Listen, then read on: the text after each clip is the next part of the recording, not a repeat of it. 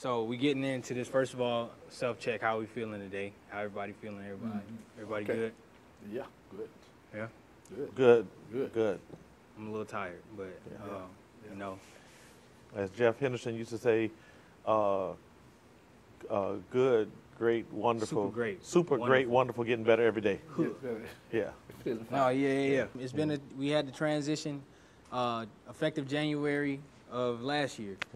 That was a um, that was a big announcement when it was made for the past year. Um, how is how has it kind of been for for both of y'all? Just kind of going through this transition from pastor to pastor emeritus, and from assistant pastor to to pastor, head pastor, leading pastor. No, uh, it's been a been a, a, a great year, uh, a good a great time. I enjoyed it. I'm enjoying it. It's been good. It uh, went without any hitch. Everything went smooth. Congregation was good. Uh, uh, uh, you know, we're really happy with where things are going. And I'm happy. My wife is happy, and then Mama happy. Everybody ought to be happy. God. Yeah, yeah. This definitely has been a has been a very uh, a blessed year. Uh, it's been filled with both challenges as well as a lot to celebrate. Um, God has been gracious to us, and I I agree with with Bishop that the transition has been very smooth, and we're grateful that it's evident that the hand of God has has been involved in this and has been upon this transition. And I'm thankful. It has been a great year. The congregation has been overwhelmingly receptive and embracing the vision and the direction that we're going in. And so uh, I'm excited about where we're going. Um, as you said, it's been a year. Uh, we're a year into it now, and um, I say full speed ahead. God's blessing, and we're going to continue to to seek Him and do His will. So I want to talk. I want to talk to you, Papa. First of all, Yes. Um, Thirty plus years, you you've been the, the the leader. You've been, you know, operating in the position as head pastor. You've been the one that's been, uh, you know, officiating funerals, doing the weddings. You've been going to this different district meeting. This, I mean, was a district elder for a little while, district bishop for a little while. Now, you got a lot more time on your hands. You got a lot more, uh, I guess, free time, so to speak. What you've been doing with that time since that switch has, has kind of taken place. Well, I've really been I've been enjoying this the time that has passed. It came not as you know uh, so sudden because I had some time. I had you know time. Uh, I was thinking about it ahead of time. Made some mental preparations about things of how it's going to be, what's going to take place, and because of you know Eric coming in as as, as from assistant pastor to pastor, it, it it wasn't a you know it wasn't a hardship a hard thing because we are you know we've been communicating for so many years and he knows the ministry well. So I'm still doing things but I'm not pastoring so it's it's great. It's it's, it's a smooth transition as we said earlier. Things are moving along great. The congregation is great is moving along with us and we are just enjoying the trip. It's a blessing because the Lord truly blessed to have Eric here as a, a executive administrator, then became the assistant pastor, and the things that we he was doing since he became became assistant pastor that I used to do, and now he he, he did he, was doing he's doing most of those he was doing most of those things before he came pastor, so we thank God for how things are going right now. So let me ask you this: um, How has your ministry changed since you've since you've, I guess, left the, the the pulpit on the regular? You know what I'm saying? Oh yes, my ministry now is I'm getting opportunity now more to you know go out and preach other places. I can you know young pastors are calling, asking me you know questions about things. Some in building projects. We was able to build and had good success with that. I'm ministering to sharing with other pastors and their congreg- you know their leadership of how we uh, went about things. We was able to do things, and it's, it's, it's a great, my ministry now is, is really a, more like an outreach to other pastors, especially younger pastors, because they have not gone through the process of building, a, building and purchasing property and things of that nature. So I'm enjoying doing that, encouraging other, you know, pastors and young pastors as well as some older pastors who have not had gone through a building project and things of that nature. So I'm I'm you know doing things now that I mean I enjoy doing also. Do you miss the Sundays and Wednesdays at all at the at the podium? Yes. Now that's that's uh, something I miss. uh, Well, let me let me say it this way: the first year, Eric was doing Bible study, so that I didn't have to prepare for that for that year. Uh, but I miss also getting up, you know, you know, during the week, preparing and meditating on what I'm going to be preaching about on Sunday, and also, you know, getting up early on Sunday morning, make sure everything is together.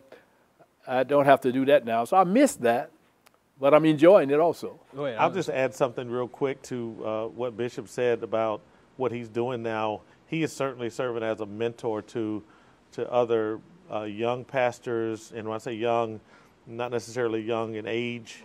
Some are, but then young maybe to the role of pastor.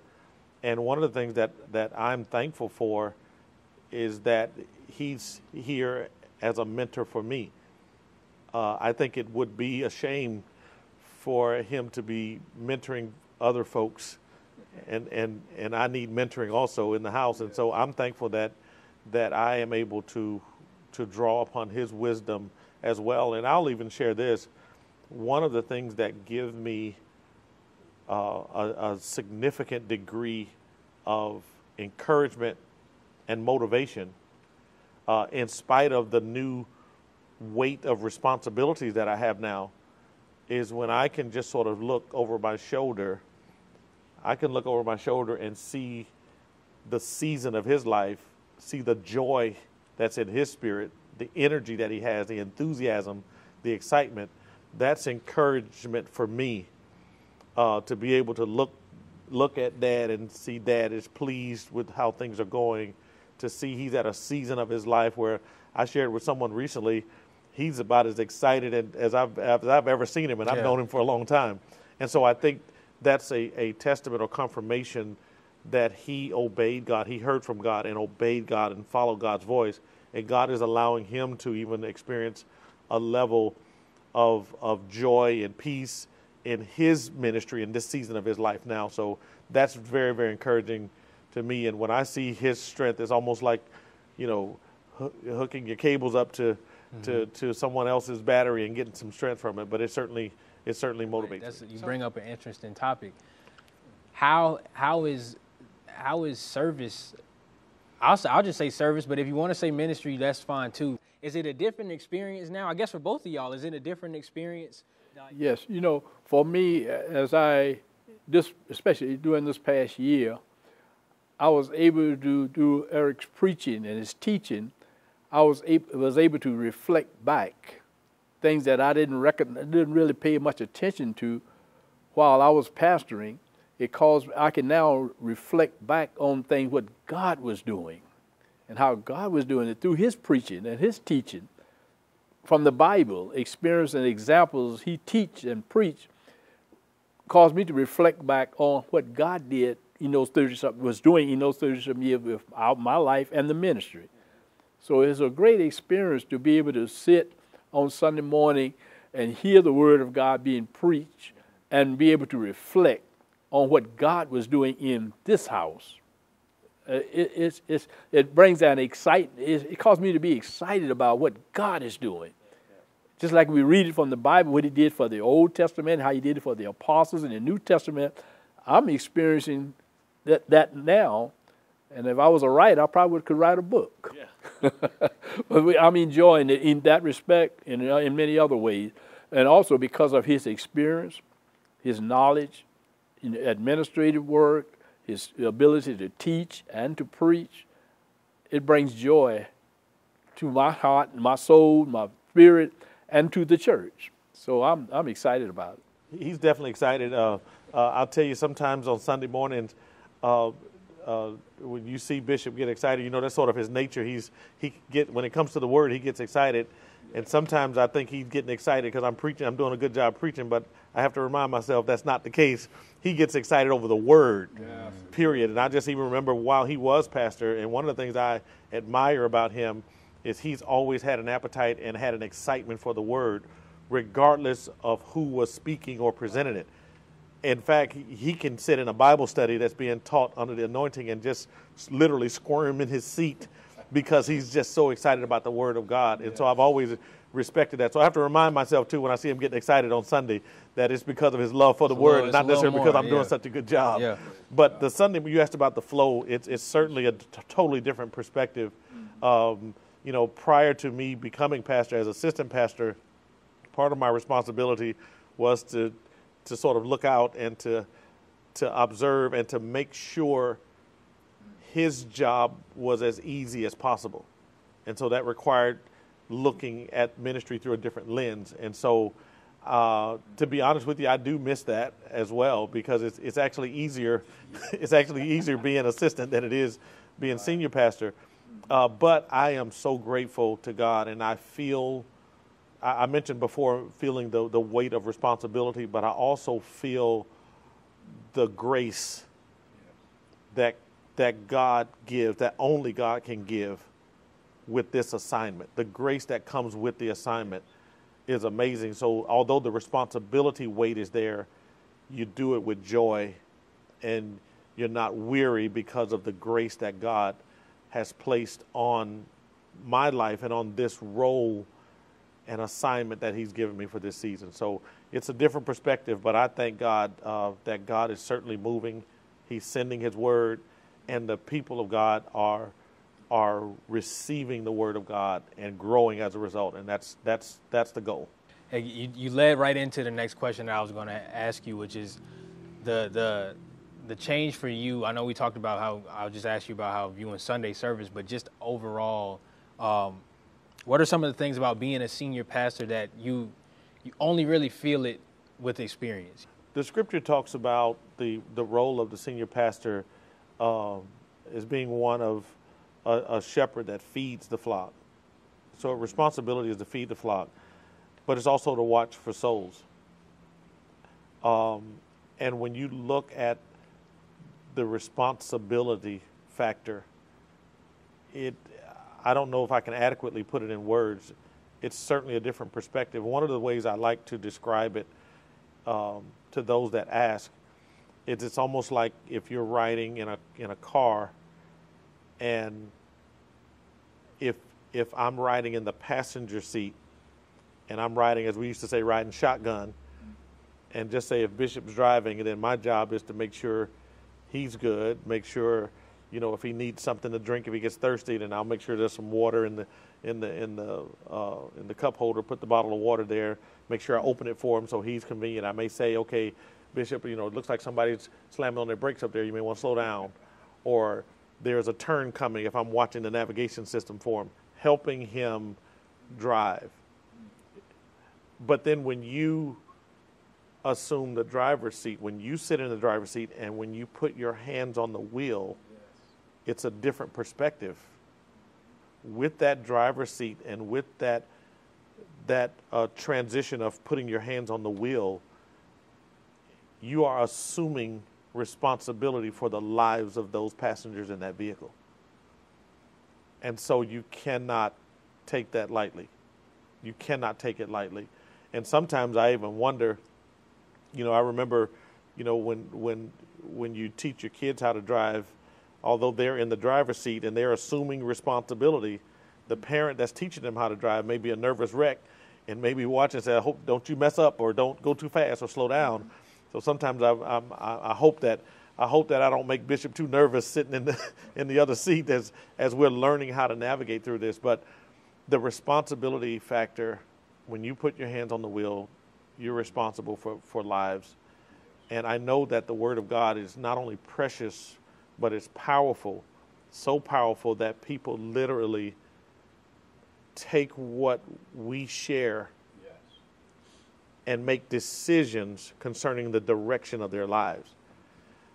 And I'll tell you, that is not something to take lightly. That is an awesome responsibility that I don't take lightly or take for granted.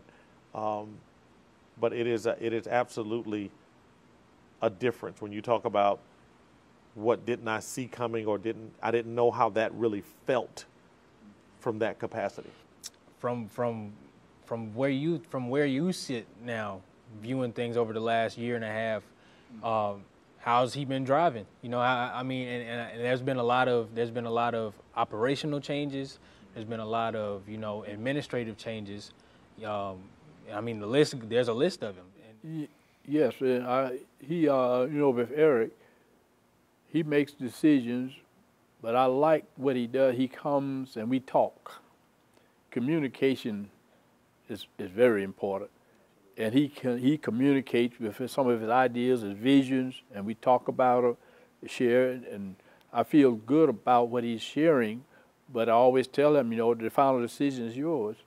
But I can, you know, I can, I, I agree with what you're saying, and it makes it makes the whole transition of from one say, see, I've been district elder, I've been bishop, sat on boards, and the thing that I like about what is happening here with us is God was able to, you know, give me some insight in what a transition should be, and I've seen what it shouldn't be. So I always I look at the negative, what I've experienced in past, not from here, but other, you know, being involved in ministry on a national board of bishops and things of that nature, and I hear some of the horror stories about how the transition didn't go, or it should have gone, but it didn't go, and I I'm very conscious of that. When I even give, a, he asked me for advice. I want to get his feeling on. I don't just tell. Being a, my role here now is pastor emeritus and also slash overseer, but I don't want to be the one that is overlooking him and telling him you ought not to, you should not. This is what I think you ought to do. I listen to what he has to say, and and majority of the time is exactly what I'm thinking. So, it's it's, it's very comfortable in the way things are going for me, the things are going, because my desire is to see more churches have smoother transitions in the ministry.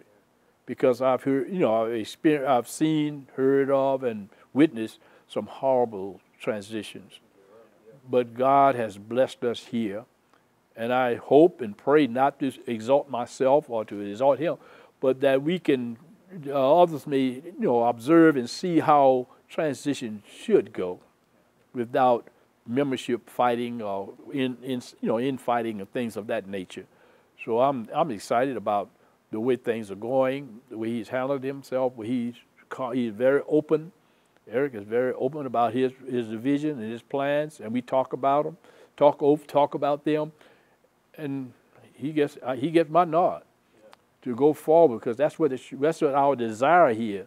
Not because, not just for me when I was pastor, but I still have that same desire to see the ministry progress and move forward. Yeah. You, you, you hinted on my next thing that I was getting into vision. Um, yeah. Y'all, y'all have talked amongst each other about the vision.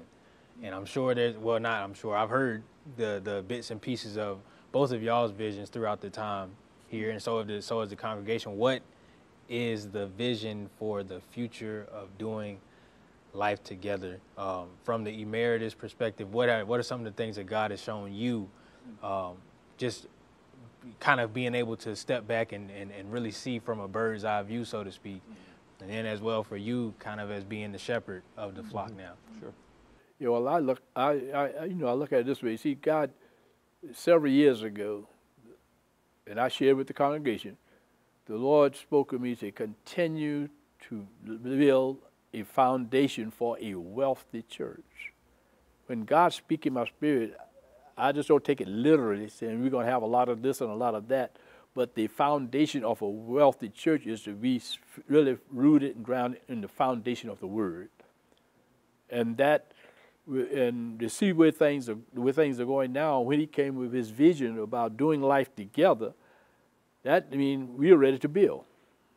Not a new edifice, but to build the, the, the ministry, the congregation, the people, reaching out to both and him being much younger, he can he can articulate and can reach younger people, you know, uh, more so than I have a great heart for younger people. But he has the skills, the talent, and the ability in this uh, modern time we are living through now, with this the culture of life now fits his fits right in with the, his lifestyle and his ministry and his, his, you know his teaching and his preaching. So that makes makes it real good. So where do you see where do you see things going? Uh, well, I think you know, going. Oh, I see this church growing. I see people coming, more people coming in. The ministry growing. Things are being more things are being developed with the ministry. Oh, my vision, uh, his vision and my vision are just so connected that uh, I'm just excited about it. Yeah, I see the church growing. I see a revival. I see it as a time of revival, like it was when my wife and I, we back in 1978, 77, 78 there was a great revival move in our in our day and time. It brought us. We was going to church, but we really wasn't into church like we should have been. And I see that I can envision, envision that same revival taking place here, not only in this church but throughout the community. A new revival, God ordained revival, not a fundraiser, but a revival that to touch people's lives, young and old. So that's where I see the ministry going and I'm excited about. I'm just waiting.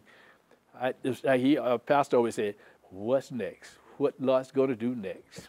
I, I want to sort of back into this this this question vision wise, because there's a couple things that Bishop said a moment ago that I want to that I think worth um, elaborating on. One is he he and I have been connected spiritually for years. Um, there will be so many times when I may have an idea or something may come in my spirit, and I mention it to him, and it's consistent with what was already in his spirit, or vice versa. He may say, "Hey, you know, here's something we're going to be doing because God placed it in His Spirit, and it's consistent with what some things God had already been dealing with." So we we so we've sort of joked about it over the years that it's just amazing how God has synchronized that.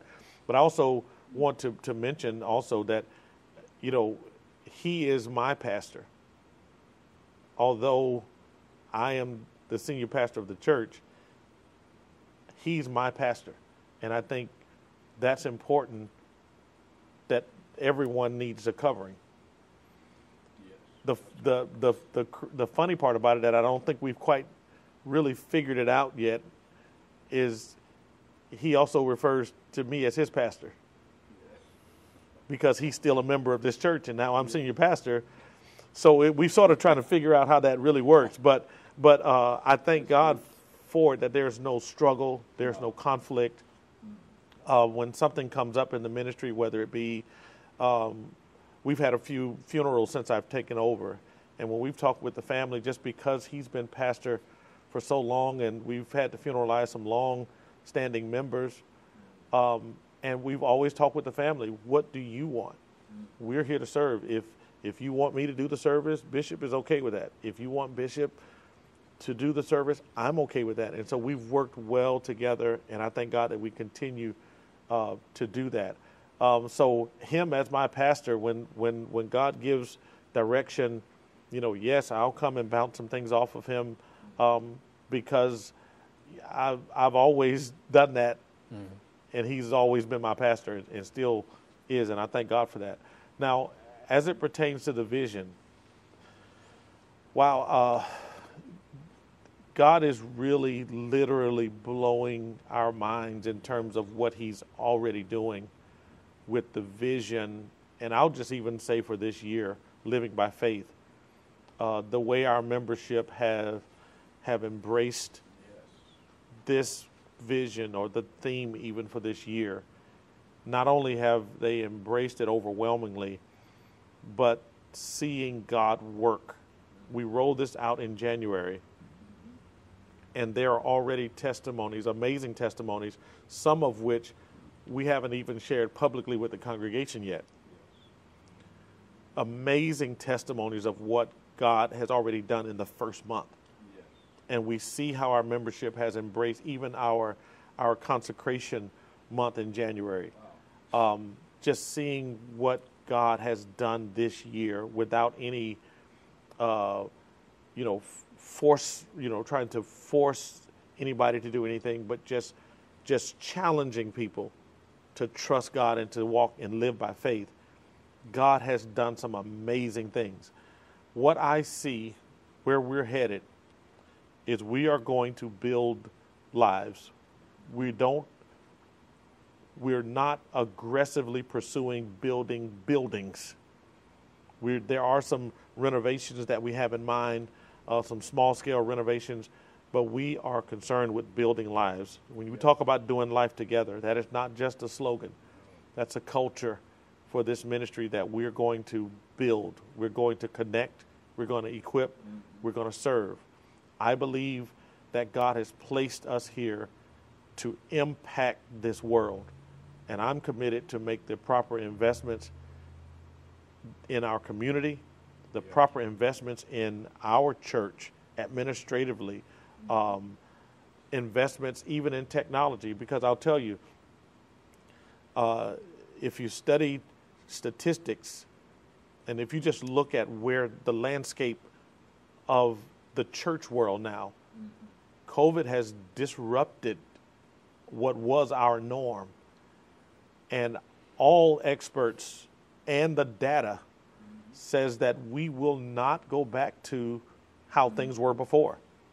So for anybody waiting on things to get back to how it was before, you you might be waiting for a long time.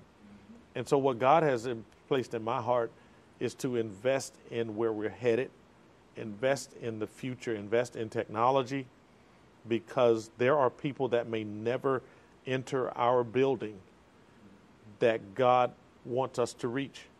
And so it's not about building membership or building the membership of Bible Way Sumter, but it's about building and advancing the kingdom. And if we're going to do that, we have to go where people are. And technology is the vehicle nowadays to do that. People literally are living by technology. I remember Bishop preaching in one of his messages years ago he said we were going to be slave. We were going to become slaves to technology, and I think we, have been there for a while. I think, but the good side of that is that technology can be used in a powerful way to advance the kingdom. If we're going to reach someone, we have to go where they are. And so that's one of my commitments to do that, to build lives, to reach people where they are. But then not only having the technology, but we have to keep we have to stay firm in the faith and stay true to the faith.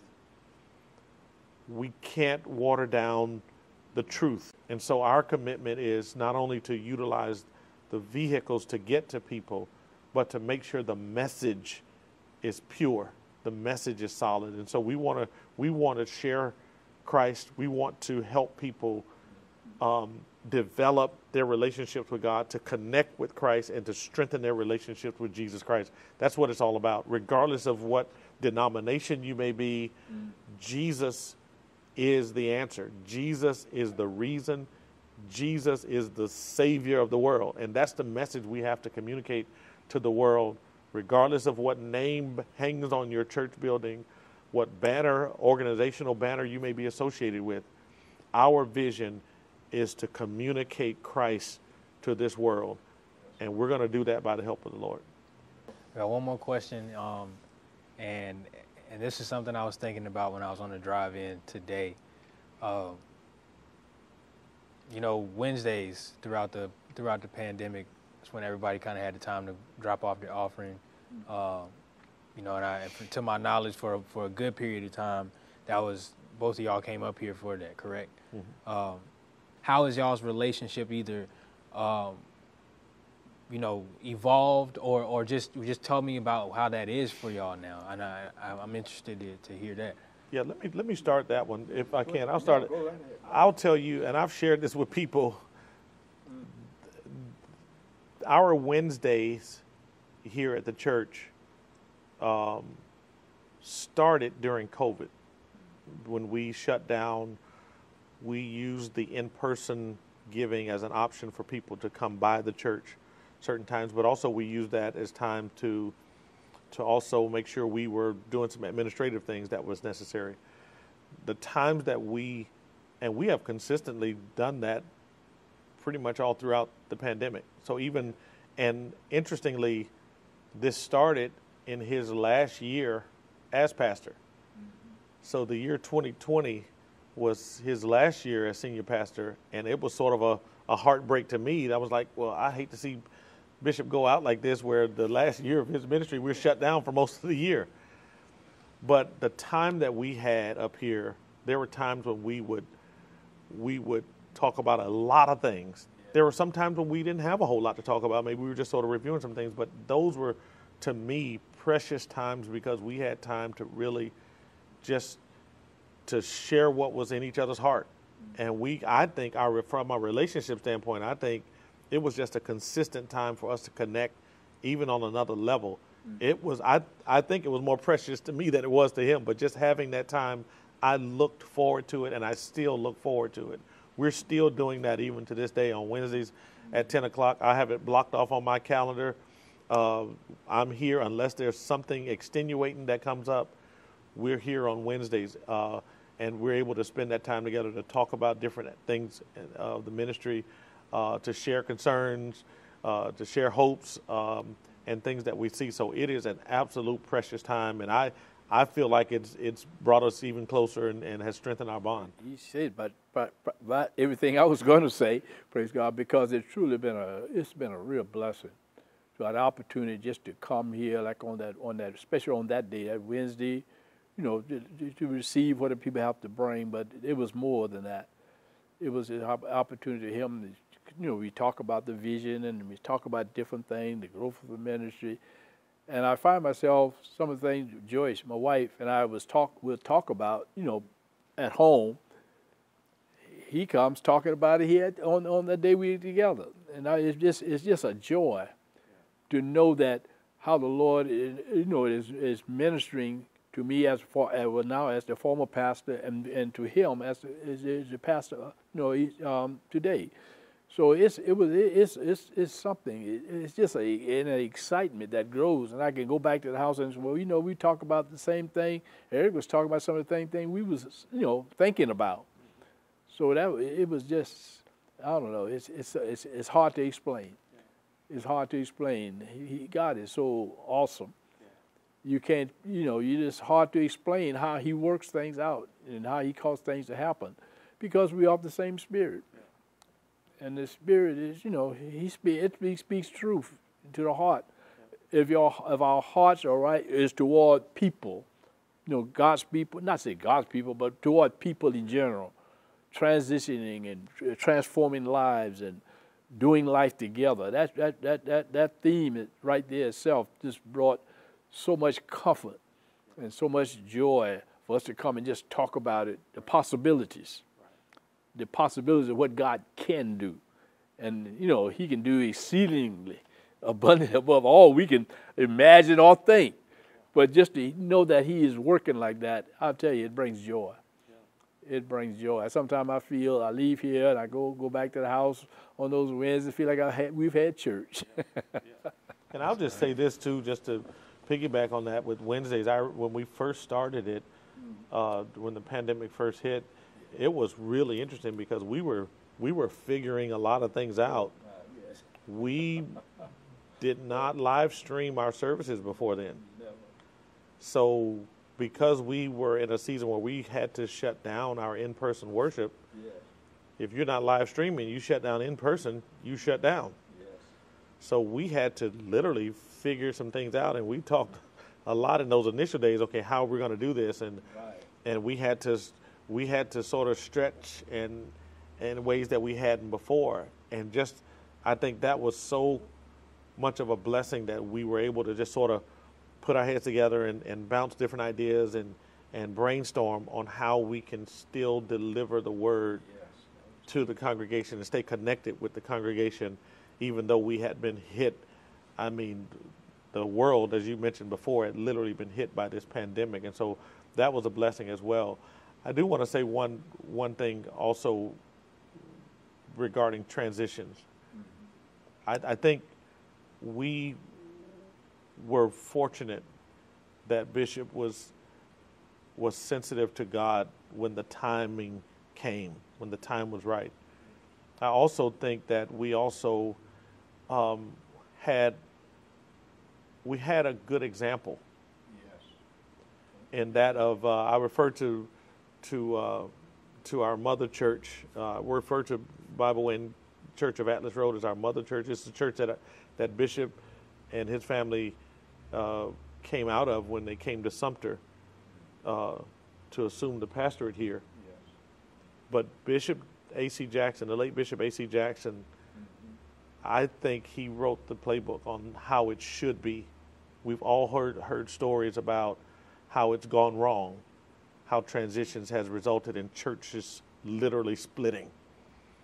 Bishop Jackson had enough foresight and insight that he was determined to do it the right way. I remember speaking with him on one occasion, and he said that it's a shame if you have the torch in your hand and you refuse to let it go and pass it on, but you would rather die with the torch in your hand than pass it on.